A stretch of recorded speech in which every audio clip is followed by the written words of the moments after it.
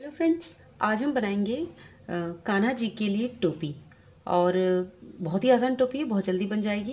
देखिए फ्रेंड्स, इसके लिए हमें चाहिए पेपर का टुकड़ा थोड़ा सा ये मोटा हो। ये मैंने कार्ड का टुकड़ा लिया हुआ है, फेविकोल। डेकोरेशन के लिए आप कुछ भी ले सकते हैं, मैंने फ्लावर लिए, आप सितारे ले सकते हैं। कुछ भी बना सकते हैं, कैंची क्रेशिया और ऊन का टुकड़ा।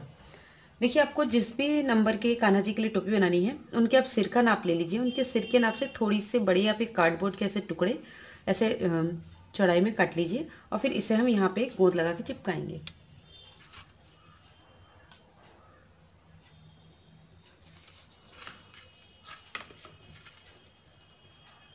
इसे ऐसे करके थोड़ा सा चिपका के इसे रखेंगे, सेट जाए ताकि इस तरह से।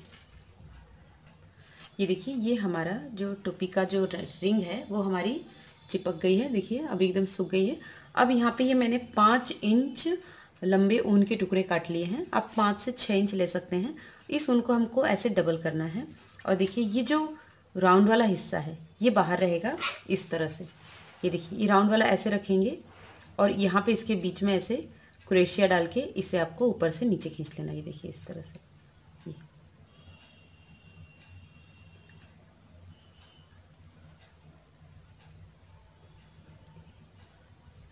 इस तरह से से टाइट करना है। फिर दूसरा लेंगे। इसे बराबर करेंगे, एक बराबर। आप चाहें तो दो और तीन कलर के भी ऊन के टुकड़े इसमें ले सकते हैं इस तरह से। इसे आप कुरेशी की मदद से बाहर के लिए क्योंकि काफ़ी रिंग छोटी है तो इसमें आप उंगली डाल के नहीं कर सकते। अगर बड़ा है तो आप उंगली से भी कर सकते हैं इस तरह से। इसे टाइट करते जाना है, पास में करते जाना है इस तरह से। फिर अगला लेंगे, इस तरह से इसे हाफ़ करेंगे।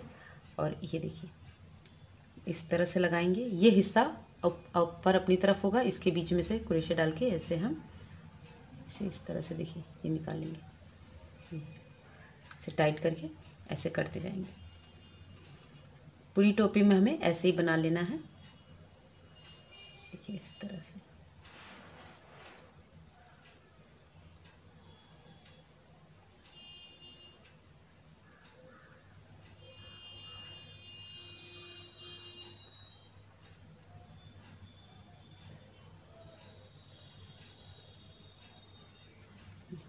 तो ऐसे ही हम पूरी टोपी में से पास पास करते जाएँगे, पूरी टोपी में इस तरह से कर लेंगे। ये देखिए, इस तरह से ये हमारी टोपी बन के तैयार हो गई है। अब हमें इसे बंद करना है। देखिए, इसे हम सारे ऊन को जो है, उंगली से ऐसे पीछे की तरफ़ कर देंगे इस तरह से। देखिए, जितना ऊन है, ये सब हम पीछे की तरफ़ कर लेंगे इस तरह से, उंगली की सहायता से। इस तरह से। एक चीज़ का ध्यान रखिएगा कि आपके जो भी कान्हा जी का आप नाप ले रही हैं, उससे कम से कम तीन चार सेंटीमीटर ये जो टोपी, जो आप ये राउंड बनाए, ये थोड़ा सा ज़्यादा रहे। इस तरह से, ये देखिए। जो है उसे आपको इस तरह से कर लेना है, थोड़ा सा उंगली से अंदर की तरफ़ प्रेस कर देना है। अब यहाँ पे हम एक गांठ लगा देंगे ऊन से। ऊन लेंगे इस तरह से। और थोड़ी दूर पे, देखिए इस तरह से करके हम थोड़ी दूर पे यहाँ पे इसे इस तरह से बंद कर देंगे, देखिए। थोड़ा टाइट ले लेंगे इस हमको इस तरह से लेके यहाँ पे हम गांठ लगा देंगे।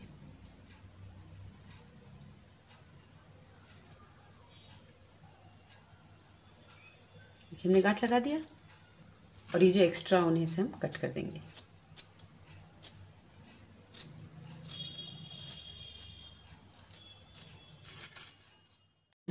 एक्स्ट्रा उनको कट कर दिया। अब हम इस पर यहाँ पे ये जो हमने फ्लावर्स रखे हैं डेकोरेशन वाले फ्लावर लगाएँगे। इस पर फेविकोल थोड़ा सा गिरा लेंगे इस तरह से।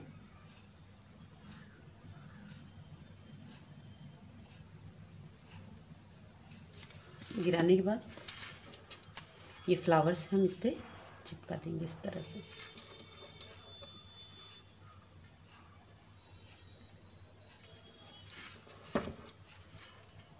देखिए तरह से हम चिपका देंगे। ये देखिए, हम चिपका दिया। अब हम इसे थोड़ी देर सूखने देंगे और सूखने के बाद देखिए, ये आपकी टोपी कान्हा जी की तैयार है। इतनी आसानी से बन गई है, इतनी खूबसूरत टोपी।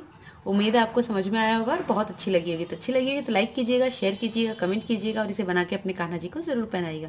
Thanks for watching bye bye